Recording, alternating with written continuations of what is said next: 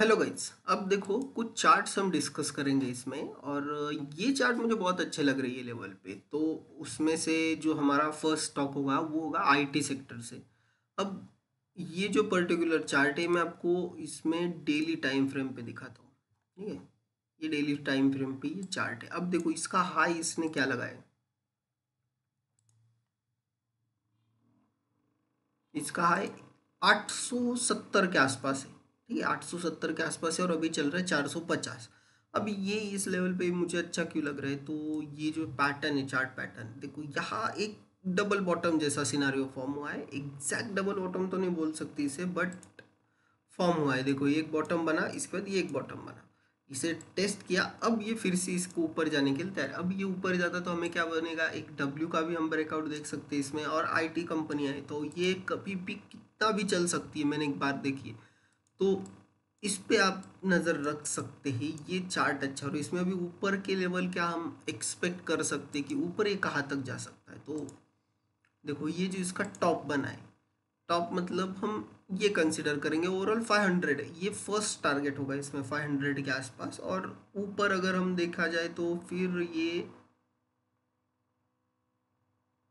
527 उसके बाद 569 तो ये कुछ मल्टीपल्स इसके लिए हर्डल्स है बाकी तो मेरे हिसाब से ये अभी अच्छे लेवल पे मिल रहा है मेरे हिसाब से। ये स्टॉक अभी डबल बॉटम के साथ हम रख सकते हैं। ये देखो, तीन, ये जो तीन लेवल से।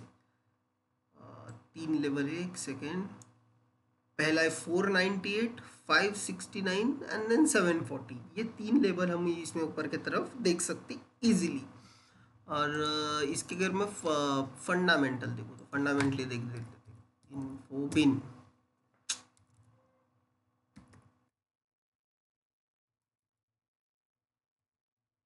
इन्फोबिन टेक्नोलॉजी अब देखो। एक हज़ार करोड़ की क्या, इसकी मार्केट कैप पे फोर्टी के पी पे अवेलेबल एक सौ बाईस बुक वैल्यू तो एक सौ बाईस बुक वैल्यू से तो अभी ये ऊपर चल रही है बट बुक वैल्यू हंड्रेड के ऊपर है मतलब ये एक अच्छी बात है इसमें। और यहाँ जो पैटर्न जो बन रहा है ना फिफ्टी डी एम ए और two hundred D M A एक आ, मतलब पास आ गए एक दूसरे को। और ये अभी चलने को तैयार है ये चल सकता है यहाँ से। Has reduce debt almost debt free sales growth अच्छा है इसका। और फोर्टी के पी पे अवेलेबल है। और यहाँ देखो प्रॉफिट ग्रोथ टेन थी सिक्सटीन हो गई फिफ्टीन हो गई। तो एक अच्छे फ्लो के साथ ये चल रहा है। मेरे हिसाब से इसे okay seventy three point ninety eight percent promoter के पास है। मतलब मेजोरिटी तो प्रमोटर ही होल्ड कर रहे और point twenty nine F I I zero point zero one D I I और पब्लिक के पास twenty five point seventy two percent तो मेरे हिसाब से ये रखना चाहिए। इसे एक लॉन्ग लॉन्ग टर्म में आप इजीली रख सकते हो इसे कि मतलब अभी लिया और इसे अच्छे खासे टाइम के लिए छोड़ दिया। इस कैटेगरी हम इन्फोबीन को रख सकते कंपनी अच्छी है। अब नेक्स्ट मेरे रडार पे ये जो कंपनी बहुत टाइम से मैं इसमें, ये अभी भी बोल रहा था 230 के आसपास जब था ये ये जब डबल बॉटम बन रहा था, मैं तभी बोल रहा था कि इसमें कुछ ना कुछ तो स्टेक रख लेना चाहिए। भारत वायर ये जो कंपनी ना